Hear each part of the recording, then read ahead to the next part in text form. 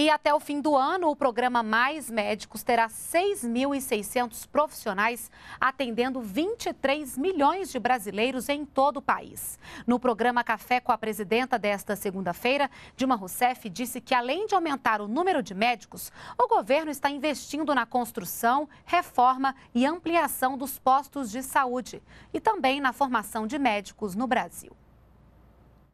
Nós estamos acelerando os investimentos em obras, a compra de equipamentos para postos de saúde, para as UPAs e para os hospitais. Segundo, nós estamos levando mais médicos para atender e dar atenção à nossa população. Quando o atendimento na atenção básica é bem feito, para você ter uma ideia, 80% dos problemas de saúde são resolvidos ali mesmo, no posto de saúde. E o que significa isso? Mais saúde para a população, é menos fila nos hospitais, é menos fila nas unidades de pronto atendimento e é um sistema único de saúde, o nosso SUS, melhor na sua qualidade.